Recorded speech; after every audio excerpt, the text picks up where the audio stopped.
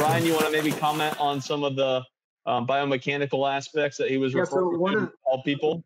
For sure, yeah. So one of the things we used to talk about similarly at Auburn was um, shifting to a shoulder-driven freestyle, and around sort of the mid to late 2000s, that really did start to to take off, um, and and that was a, a, popular thing. So John, you're saying like, well, who's teaching different styles of freestyle? And I think that um, you would see that Mike Bottom at Cal, David Marsh at Auburn, Dave Durden here at, at Cal would be teaching what I would call a, a shoulder-driven freestyle.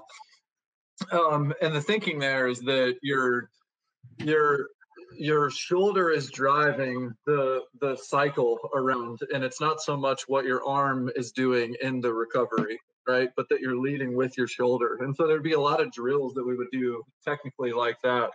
Um, you know, and I think that the the point around the simplicity of the stroke is is certainly prudent. And coming back to the undulation of butterfly, and where you know I've heard um, you know Wade, who we had on our podcast uh, several months ago, who swam at Texas with Crocker and Hansen and some of those guys.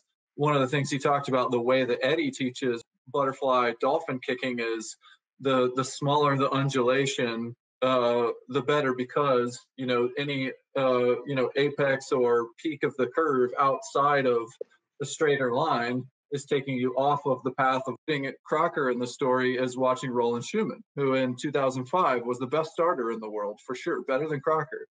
And there's an iconic video of from behind the blocks. You can find it on YouTube today of Crocker and Schoeman starting the 50 fly in Montreal Worlds 2005. If you pause the video correctly, all you see are Schoeman's feet. Huh. And then you see Crocker's legs. And the thing is, Schoeman had his body in 100% a straight line. It's the broomstick example. You hit the water and boom, you accelerate because your body is exactly flat. Um, and some of these ideas are t- the types of things that Milo was talking about or, that you would pick up at Cal working with Mike Bottom. And these the, the, the, the some of the paradigm and the way of thinking was shifting into a much more simplistic approach. I would just want to follow up with you and ask about your butterfly as it progressed too. How what what are some of the things in butterfly that you would think about that also you think um, really led to your success? Hey, so on that on that note of you know the the undulation and uh, you know we we we started looking at track athletes doing hurdles, and and you look at their head, their head literally stays in the same line even as they jump over the hurdle. And and and if you think about it, it's all about forward moving energy. If if your body or that head would go above where it would normally go, you know, it's it's there's too much movement. You know, your head wants to. It's kind of like a you know, kind of like a bow and arrow. You know, once you release that arrow, it's flying and it's flying straight. Now, imagine if that arrow went upwards, it would have changed the trajectory of the energy moving forward. So, you know, um, you know, we we started thinking about, you know, what can we do to just kind of keep it, you know, the forward moving energy, and and it was to reduce undulation. To do this, you know, it would uh, it would require a whole lot more upper body strength.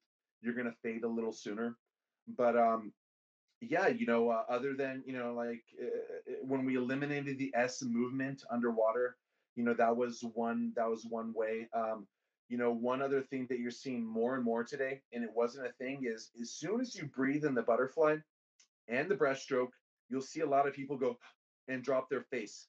So they're dropping their faces before the recovery of their arms. In breaststroke, their their arms would be at their chest, they would drop their face, and then they drive their arms forward. So so in, in the breaststroke, those that keep their head upwards, the energy is going upward into this peak and then downward. Whereas if if you take a breath and you drop your face, is, is as soon as you po- possibly can. It turns more into a wave instead of a spike going upward and then downward in that in that energy. So we're just looking at energy going upwards and what direction is it going. So yeah, you know, we we reduced the amplitude of the kick. They were smaller kicks. Um, you know, I think I think one thing that people uh, are are are forgetting about a lot of times is that second kick in the fly. They don't give it enough love you know so so really that second kick similar with the freestyle the freestyle the freestyle six beat kick it's constant well in the butterfly it's got to be a constant move it's got to keep going you cannot be kick big kick, small kick, big kick, small kick. No, it's got to be, you know, it's got to keep going. And and with that with that movement, it gives you continuity and energy going forward without stopping. No, I think that's uh, really important. And I think as we're talking about kind of energy distribution and moving on a forward line, there's a lot of debate on underwater dolphin kick. And obviously, um, in butterfly and almost every stroke now, underwater dolphin kick is huge. And we have Caleb Dressel still doing relatively big undulations where some of the other um, elite sprinters are doing more shorter amplitude, shorter undulations. What are your current views on underwater dolphin kick and undulation and energy distribution? Um, you know, one thing that you have to recognize, and everyone's got to recognize, is there is no one right way to do it. There are just uh, there are just wrong ways to kind of stay away from. I think, um, depending on the proportion of of whether your torso's long and your legs are short, or you've got really long legs and a shorter torso that it it it, cha- it depends on on on you know who we're kind of talking about um i you know it, it's it, it's you know we've always kind of said you know that the winner is is doing it the right way because they're the champions. Well that's not necessarily right you know um you know a, a, lot of a lot of a lot of videos have been made on on on Phelps's butterfly uh, and and again you know if you look at it from a physical and a physics point of view maybe it's not the most efficient. And that's not me saying hey like you know I'm you know a lot of people would say you know he's he's jealous or you know he you know he the winner is the winner that is the right way but again if you kind of take a step back and and kind of analyze it it's like well what do we what do we need to do to to help us go forward um, you know, with Dressel having that big amplitude, I mean, the guy is just so dominant underwater. Can you really say that he's wrong?